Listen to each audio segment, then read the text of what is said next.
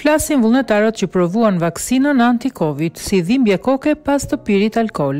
Vullnetarët që kanë marrë vaksinën e koronavirusit të prodhuar nga Pfizer, kanë thënë se efektet e saj anësore janë të ngjashme me gjendjen e drobitur që vjen pas konsumimit të ekzagjeruar të alkoolit. Raporti mbi efektet anësore të vaksinës, që deri tani rezulton e sigurt, vjen disa ditë pasi Pfizer dhe partnerët e saj gjermanë, BioNTech, njoftuan se efektiviteti parandalues i një infeksioni është deri në nëntëdhjetë për qind dhe se porositë shtetërore kanë nisur tashmë për blerjen e saj. Gjatë testimeve rreth dyzet e tre mijë e pesëqind vullnetarë nga gjashtë shtete morën injeksionin pa u treguar nëse ishin injektuar me vaksinën apo me një placebo, duke u referuar injeksionit të paefektshëm që jepet për të studiuar efekte të mundshme psikologjike.